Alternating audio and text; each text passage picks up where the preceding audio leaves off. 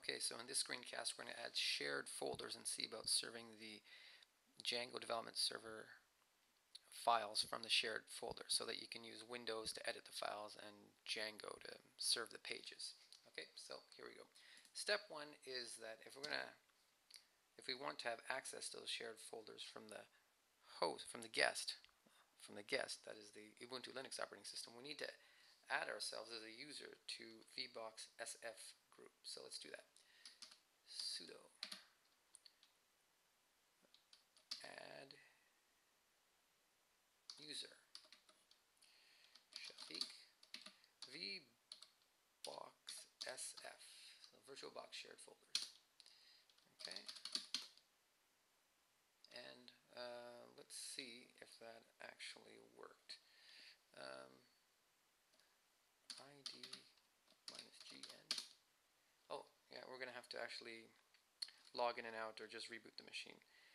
Uh, but we'll have to reboot the machine anyways in order to add the shared folder. So let's uh, just do one reboot. So uh, add the shared folder first. So shared folders, uh, we're going to add a machine folder because we want it permanent. And we're going to click plus and we're going to select a path to a directory that I've already created on the host, that is the Windows 7 operating system. And yeah, I call it shared with Ubuntu. So auto mount and make permanent. Okay, and click OK. So let's reboot everything. Let's let's actually shut it down. sudo shut down now.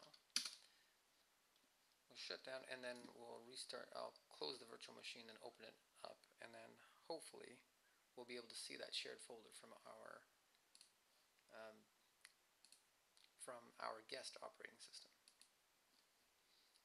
So let's close that, power off the machine, and restart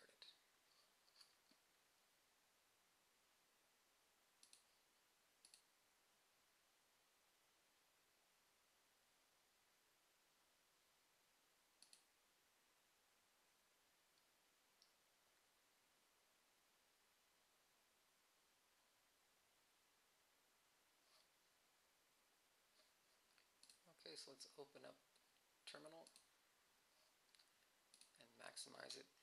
Uh, let's see if we are indeed a member of that group. Yes, I am. You can see here I'm a member of VBox SF. And let's take a look to see whether that shared folder actually mounted. So it'll be in in here in the media directory, and it's going to be prefixed with SF. Now you can change some settings so that you don't get this prefix or the prefix is different.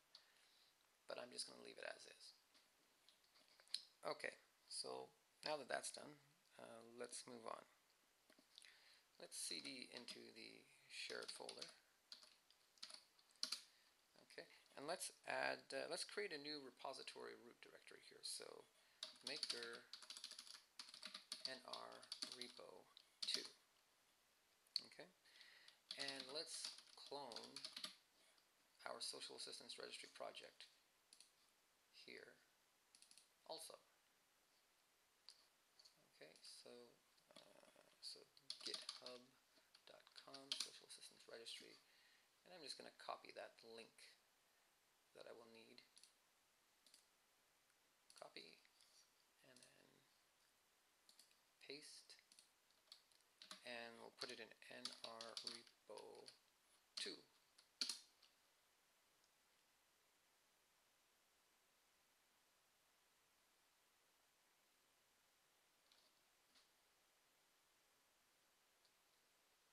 Okay, to have gone well.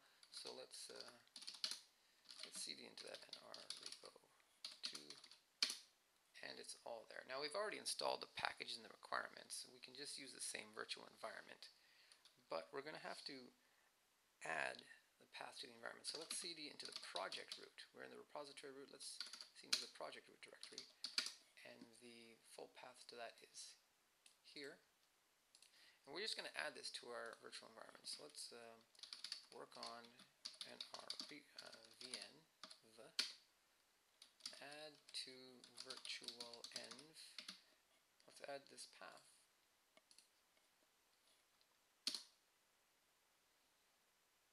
Okay. And now, let's see if we can actually run the Django development server. So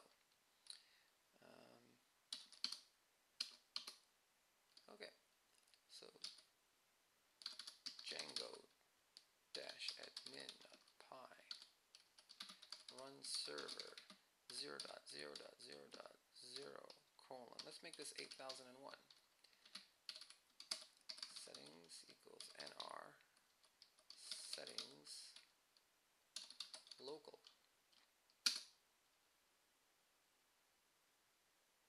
Wow, it worked. Okay, so let's let's see if we can run it up here. So 127.001. Not going to be 8,000. It's going to be 8,001 this time. It's working. Let's see if we can access it in Internet Explorer.